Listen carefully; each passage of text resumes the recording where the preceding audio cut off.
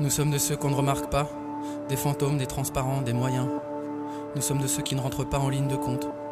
Nous sommes de ceux qu'on choisit par défaut.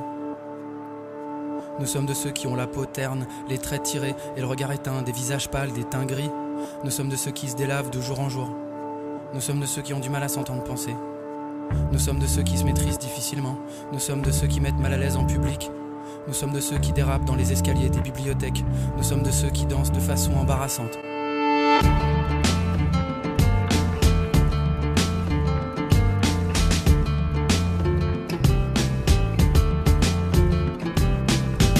Sommes de ceux qui font l'amour en deux temps. Nous sommes de ceux qui s'y prennent à l'envers avec les autres. Nous sommes de ceux sur lesquels on parie jamais.